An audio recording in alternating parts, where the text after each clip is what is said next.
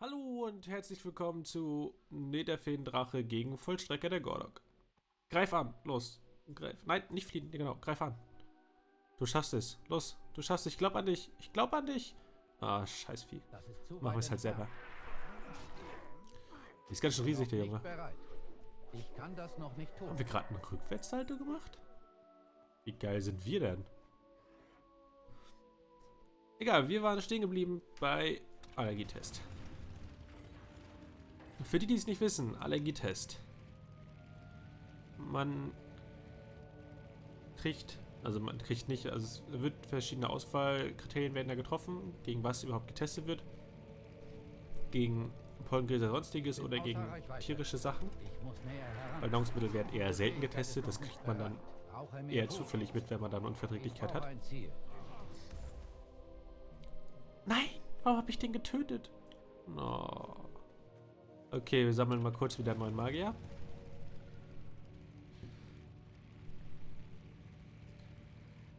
Also man kriegt da so, das ist so eine Apparatur.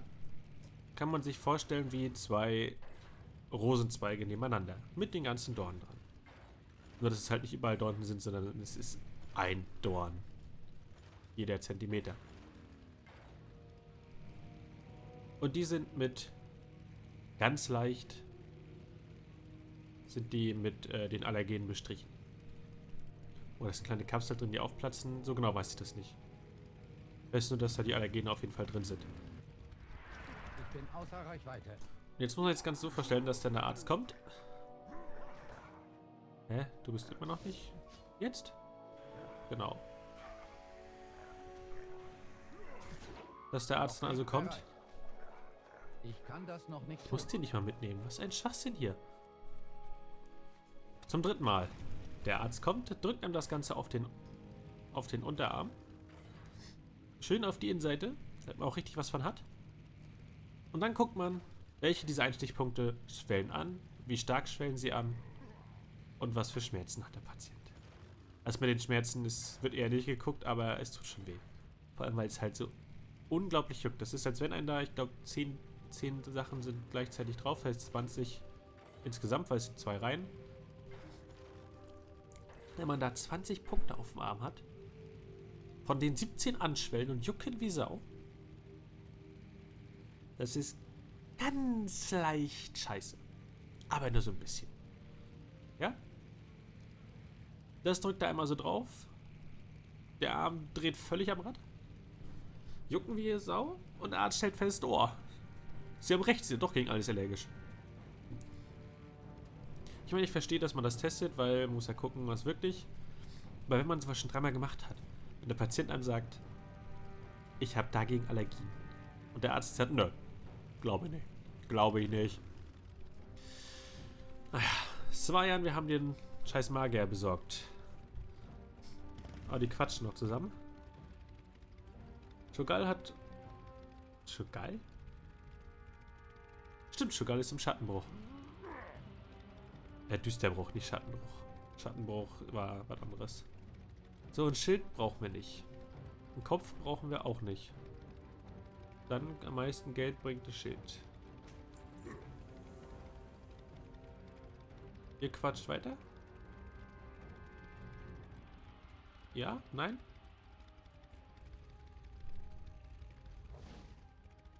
Achso, das war von dem anderen Typen noch. Das konntet ihr euch ja gerade durchlesen. Shogal hat die Macht verliehen. Ja. Ist ja eigentlich ein Briefkasten jetzt, wo ich gerade hier das Symbol schon wieder sehe. Irgendwie nicht, ne? Schade. Loktar. Ja, Loktar, Loktar. Ich habe die Jungs umgeklatscht, die du wolltest. Ach, da sagst du gar nichts mehr zu. Na dann. Die Macht der Steinbrecher. Der Schattenhammer meint also, hier eine Oge-Armee ausstellen zu können. Mitten im Gebiet der Horde. Das werden wir sehen. Urge respektiert nur eins, Stärke. Ich möchte, dass ihr bei der Zeremonie von Shogal ein Attentat verübt, Syndoros. Reißt die Tore Düsterbruchs auf und begebt euch in die Menge der Anwesenden, ermordet sie. Ja, alles klar. Ich muss dafür nicht zufällig...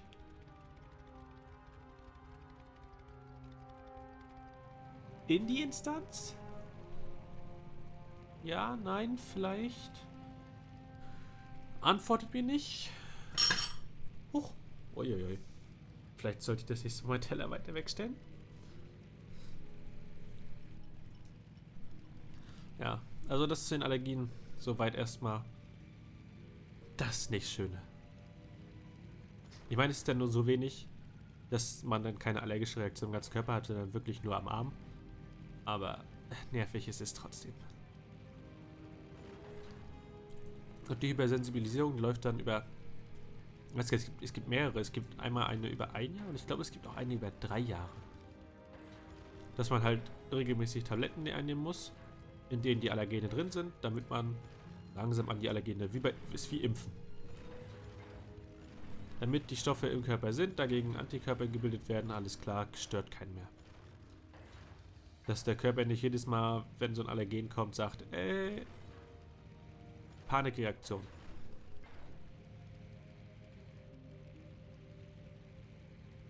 Aber mal gucken.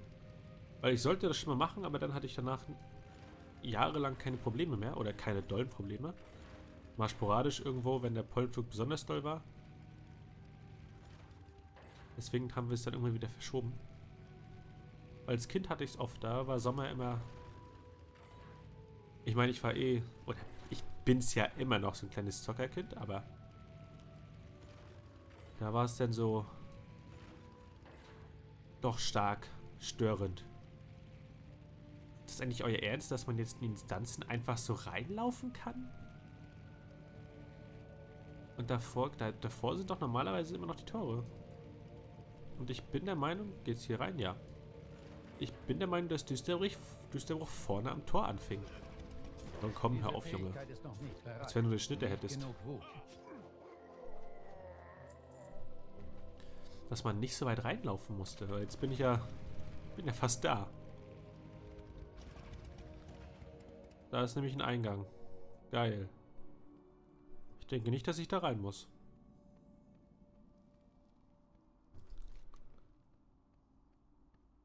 Aha.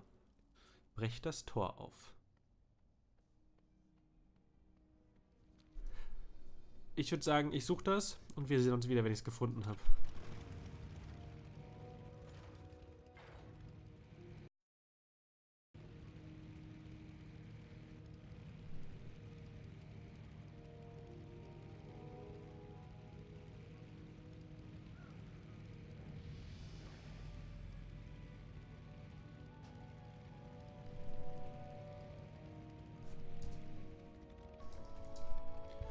Ja, anscheinend wurden wir gerade in eine Gilde eingeladen. Und ich habe es gefunden. Gleichzeitig. Das hier ist doch... Die Sonne des Lebens wird für immer untergehen, da das Licht der ewigen Nacht weicht. Die Vergessenheit lauert. Sie ruft. Der Schattenhammer ist das Instrument großer Zerstörung. Das System ruhmreicher Vernichtung. Reißt den Schleier beiseite. Öffnet euren Geist für die Lehre. Durch uns werdet ihr wahre Macht finden. Schließt euch uns an Schließt euch uns an. und es wird euch unendliche Kraft gewährt. Stärke, seine Stärke, seine Macht.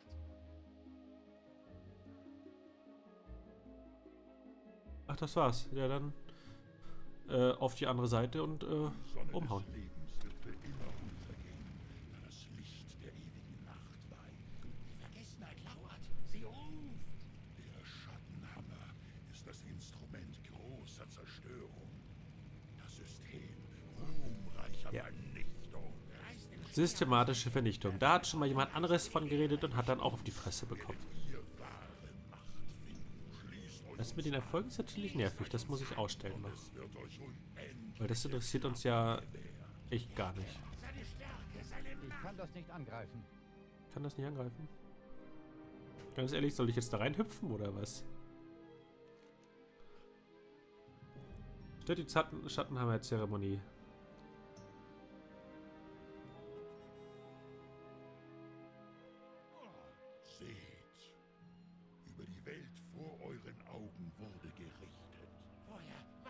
Luft. Alle sollen sterben unter den Elementen. Brennt und ertrinkt und zerbrecht und erstickt. Schließt euch uns an und ergebt euch dem unvermeidbaren Ende. Die Macht des Meisters ruft. Ihr werdet wiedergeboren, stärker als das Fleisch. Losgelöste Stärke, unendliche Macht. Kann der mal ein bisschen schneller reden? Hört mir gehorsam Der Meister verlangt, er sieht und verlangt und hungert. und ihr werdet nach meinem Bilde neu erschaffen. Wartet! Ungläubiger, ein Ketzer unter uns. Ein Eindringling? Ja, hier bin ich. Zeigt euch, Komm. euch meine Oger. Erschlagt dieses Insekt. Brauche mehr Wut. Noch nicht bereit. Was ist das denn für ein Attentat? Hallo, hier bin ich. Kommt doch runter. Ist doch kein Attentat, Junge. Brauche mehr Wut. Ich habe gestern ein bisschen Skyrim gespielt, da habe ich Attentate verübt. Da bin ich nicht einfach hin und hab gesagt, hallo, hier bin ich.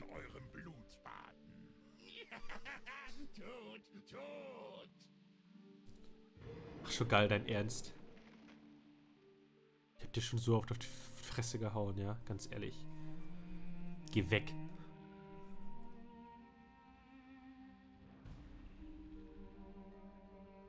Ja? Wer kommt? Wer hilft? Ach du. Tod und Verderben, Schwestern. Schwestern. Räuber der Steinbrecher ist Schwester. Ich will ja nicht sagen, dass da was nicht stimmen kann, aber naja. Noch nicht bereit. Ja, Orhan, jetzt prügel ihn mal um, weil ich prügel ihn sicher nicht um. Wenn man die. Quest auf Max-Stufe macht. Hey, komm, hau mal drauf. Zack, One-Hit. Oh, doch nicht. Hör auf drauf zu hauen.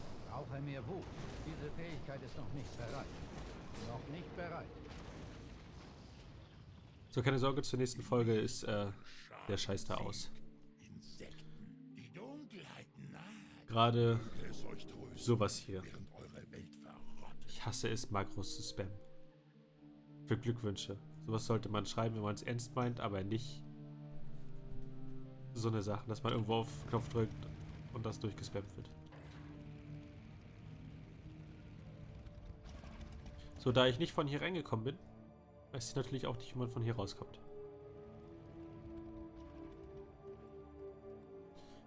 Aber ich hoffe... Ja. Was bringt uns die Gilde eigentlich? Die Gilde bringt uns, können wir den mal gucken. 10% mehr Reisegeschwindigkeit. Schön. Verrät die Abkletzung des Rohrsteins. Schön. Beschwerten Gildenkiste. Ist mir scheißegal. Schneller als der Tod, Wiederbelebung. Kriegen wir mehr Gesundheit und sind schneller, während wir tot sind. Auch gut. Ingame-Post zwischen Guildmitgliedern, ja, pff, interessiert mich nicht. Und Massenwiederbelebung ist ganz interessant, für uns noch nicht. Das war's, was die Gilde hat? Ist auch okay, kriegen wir weniger, nicht, nicht wesentlich mehr Erfahrung und alles. Ähm, da war der Ausgang, ne? Ja. Suche nach mehreren. Der Erfolg ist geil. Suche nach mehreren, nach mehr, suche nach mehreren, suche nach mehr, mehr, mehreren.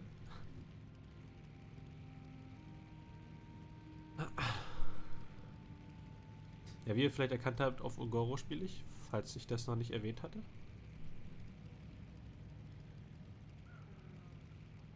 Kann ich das nicht nebenbei ausstellen?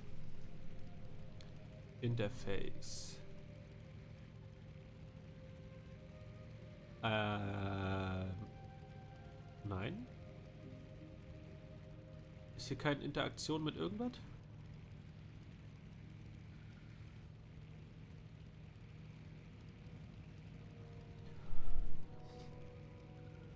Das möchte ich nicht.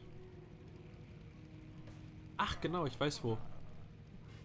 Wobei die Erfolg kann ich nicht ausblenden, oder? Ich kann nur Gesamtgilde ausblenden, oder nicht?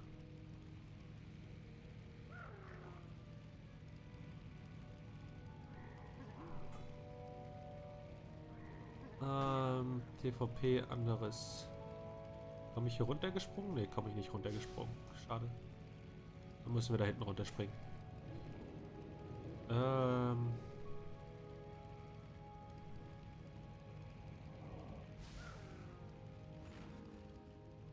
Nee, extra für die Gilde kann ich das nicht einstellen. Gildenankündigung, Gildenchat. Den Gildenchat möchte ich ja weiterhin behalten. Da werde ich mir mal, werde ich mal angucken, ob ich das irgendwo ausstellen kann. Weil den Gildenchat will ich behalten. Ich will bloß die Erfolge nicht haben.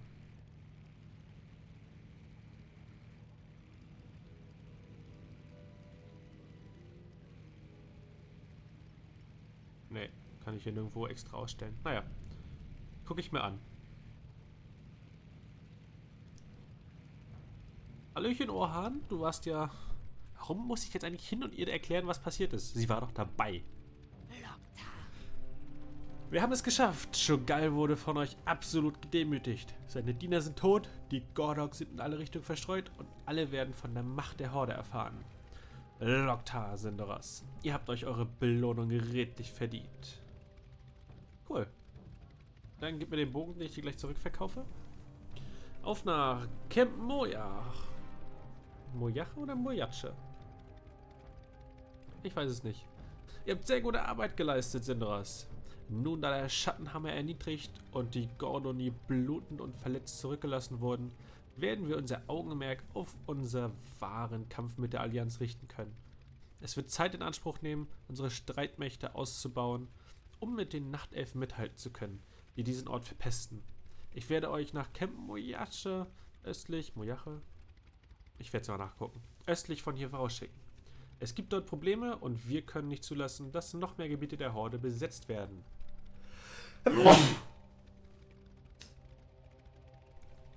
Sprecht mit Häuptling Geisterhorn im Camp. Gut. Wir nennen es ab jetzt nur noch das Camp. Und auf dem Weg verprügeln wir den, den Haustiertypen. Ja, Abenteuer. Tausend Nadeln, da will ich eh hin. Allen tauglichen Mitgliedern der Horde wird hiermit befohlen, sich umgehend bei Niese im Morastwinkel zu melden. Morastwinkel? Das sind tausend Nadeln? Nee, in den Düstermarschen. Wusste ich's doch. Na, mal gucken, vielleicht kommen wir da eh vorbei. Moment, hier sind wir gerade an was vorbeigefahren. Hier müsste doch irgendwo auch gleich der Haustiertyp sein. Ich wollte nämlich eigentlich Wildtierführer. Immer wieder ein bisschen... Bin ich doof? Doch alles eingesammelt.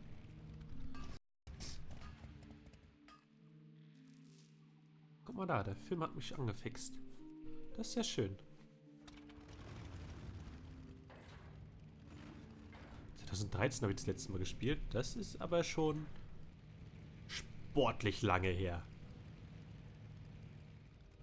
Wer war das? Tramdit.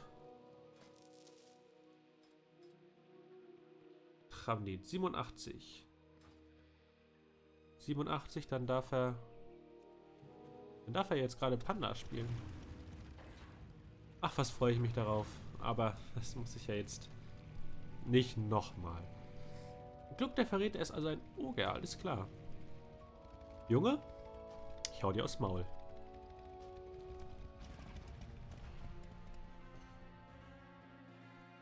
Dieses Haustier kannst du erst agieren. Kratz und ein Tänzler, okay. Einfach mal drauf. Ach, du bist ein Dr Drach? Ausweichen? Bist du dumm? Ach, um 100%. Ja, wir wollen es ja nicht übertreiben. Zwei Runden lang? Was ist denn verkehrt mit dem Vieh?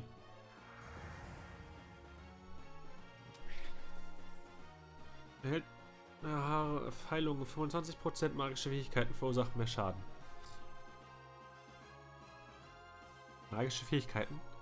Bist du dumm, Drachkind? Du hast doch gar keine magischen Fähigkeiten. Außer Mondlicht vielleicht. Gut. Hauen wir mal's Maul.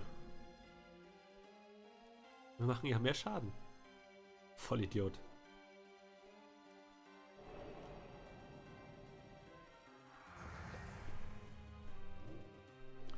Wie lange wirkt denn dieses Ausreit aus bla bla bla Ausweichen?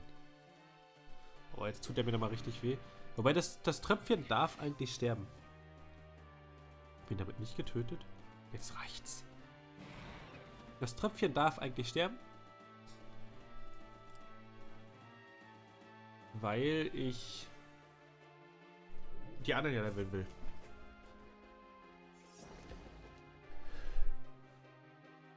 Weil es kriegen alle dieselbe Erfahrung, oder? Ah, ich weiß das nicht. Knochenspinne? Also eine Sternchen. Du bist gut gegen das Vieh. Vor allem Aufziehen macht mehr Schaden. Das ist das Einzige, was wir benutzen. Haut ihn zwar gerade richtig hart, aber naja. Komm, box ihn um. 524. Ist das traurig. Es ist so overpowered, das Vieh. Komm, sei zuerst dran. Dann sei eben nicht zuerst dran. Warum hat er eigentlich 327 Lebenspunkte bekommen, wenn er noch 124 hat jetzt? Hä?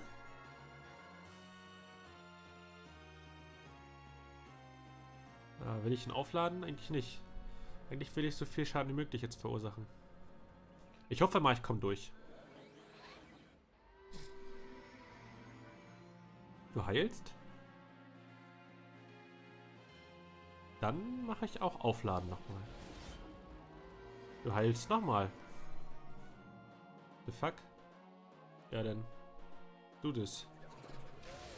Ich hätte erst aufladen sollen und dann aufziehen, ne? Kann das sein? Ja, wie dumm ist denn der Tänzer? The fuck? Wozu gibt's denn sowas? Oder heilt der auch? Heilt der auch Viecher, die nicht auf dem Feld sind? Dann wäre er nützlich, aber sonst war das jetzt gerade Schwachsinn. Ja, Glück, äh, ich hab dich umgelauen. Kriege ich was dafür? Demolieren. Ich sag demolieren. Ich kriege also nichts. Okay, aber ich würde sagen, ich laufe jetzt dahin und wir sehen uns in der nächsten Folge wieder. Denn es ist schon wieder soweit. Wir sehen uns morgen wieder. Ich hoffe, euch hat es gefallen. Und bis dahin euch einen wunderschönen Tag. Und wenn ihr Allergien habt, geht nicht zu viel raus. Tschüss.